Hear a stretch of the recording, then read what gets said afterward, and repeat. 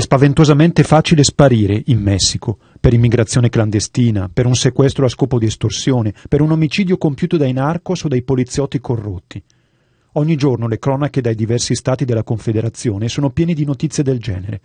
Una delle ultime viene da Tlajomulco, vicino alla città di Guadalajara, nello stato di Jalisco. Padre Juan Miguel Contreras Garcia, 33 anni, aveva appena finito la messa, ieri sera, nella chiesa parrocchiale di San Pio da Pietrelcina, quando è stato colpito a morte da un comando di uomini armati. Padre Juan Miguel aveva sostituito all'ultimo momento un altro prete che aveva subito minacce di morte. Già, perché in Messico molti religiosi, giornalisti e attivisti per i diritti umani sono diventati carne da macello, facili bersagli dei sicari dei cartelli della droga che imperversano.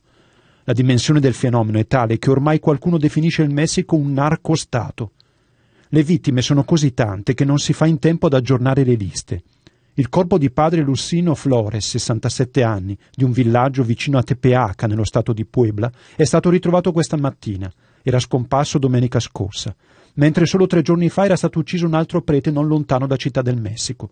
Il Centro Cattolico Multimedial fa sapere che sono 23 i preti uccisi in Messico durante i sei anni di presidenza di Enrique Pena Nieto. Della parrocchia El Sagrado Corazón, El Salvador. Mi lema es, Señor, me has mirado con misericordia y me has elegido.